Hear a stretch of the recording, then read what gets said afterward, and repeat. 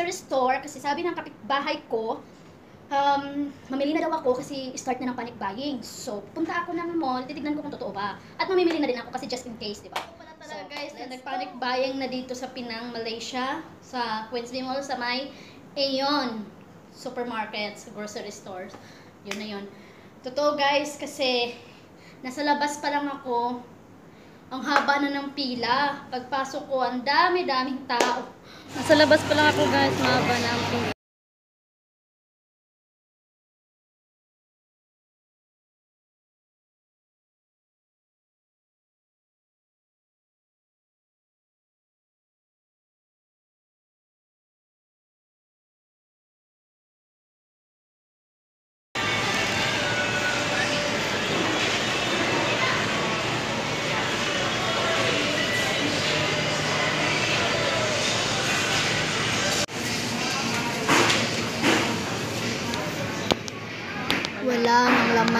iba guys. Wala nang laman.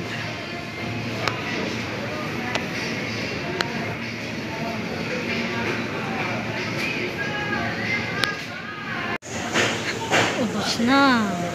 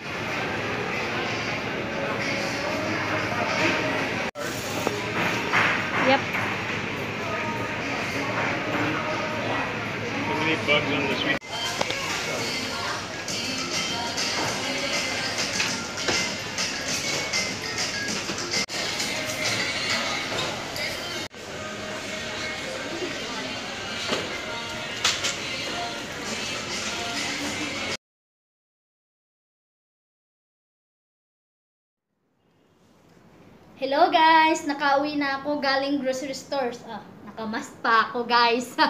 Tanggalin. So, so, meron akong tatlong bag guys na pinamili ko sa grocery store. So, okay, tignan natin. ko sa grocery store.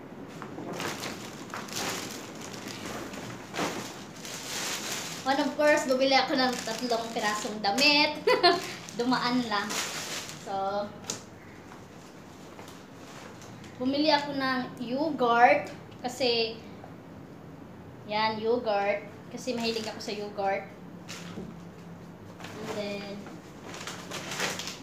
bumili ako ng kimchi, my favorite. Bumili din ako ng kimchi.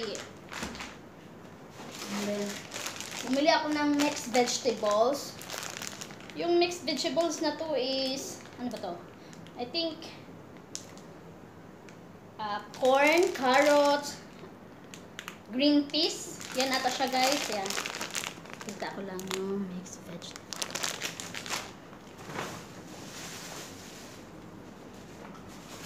And then, dumaan din ako sa Ace Hardware. May bumili na po ng pang insect, you know, spray. Tapos, sa CR, bumili din ako. Hiwalay natin siya. Tapos, sa pangalawang bag, bumili ako ng itlog, eggs. Yan, bumili ako ng eggs.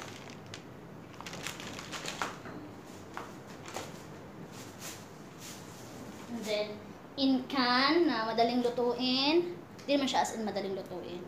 Chickpeas. Bumili ako ng chickpeas. Yan. Then, of course, banana, fruits. Bumili din ako. Ganun. Bumili ako ng dried can.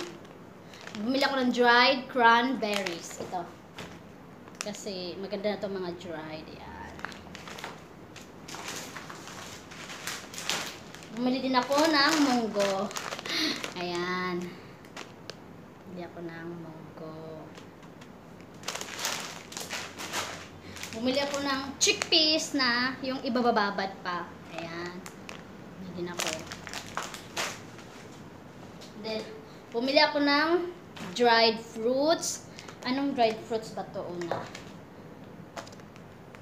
Bumili ako ng guava na dried fruits. And then, kiwi dried fruits. And then, for the third bag, hindi siya masyadong puno guys kasi sinip, ano ko siya kasi masakit sa alam mo na pag ano maganda na yung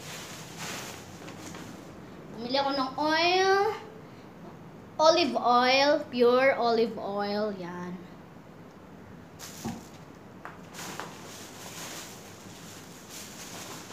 bumili ako ng tinapay bread ayan bumili ako ng bread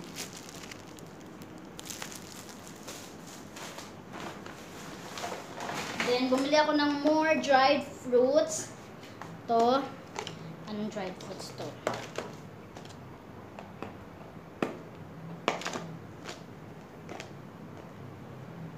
Pineapple dried fruits. Bumili ako ng pineapple dried fruits. And then, papaya dried fruits. Bumili din ako ng papaya dried fruits. Tapos, lentil veggies. Bumili din ako ng lentil. Dalawang kura, dalawang pack na lentil bumili ko. And then, more chole. Ay, I mean, chickpeas. Bumili din ako ng grapes. Ayan, grapes. Tapos, at bumili din ako ng mulberry. Ayan. Ito siya, guys. Ano siya? Bumili ako ng mulberry. Yan. So guys. Bumili din ako ng oatmeal. Yan, mabilis lang. So, bumili din ako ng toilet paper or tissue. Ayan. Ito, 20 piraso to sa isang pack. Ayan. Kasi, dalawa dito, dalawa din dito. So, 20 pirasos siya kasi 10-10. Tapos, isa pa, yan, 10 piraso din to. Yan. At, ito, paper towel, bumili din ako sa pack, 6 na piraso, bumili din ako ng paper towel. Pero, kung yung tayo mga Pinoy or mga ibang lahi na gumagamit naman ng tubig, wala namang problema. Kasi basta may tubig lang sa bahay nyo, walang problema. Pwede natin gamitin yun. Of course, dumaan ako sa sale. Sale siya guys eh. So, bumili na ako ng mga t-shirt na sale. Ito, dumaan na ako. Bago ako pumunta sa grocery stores, bumili na ako ng mga ng t-shirt na sale.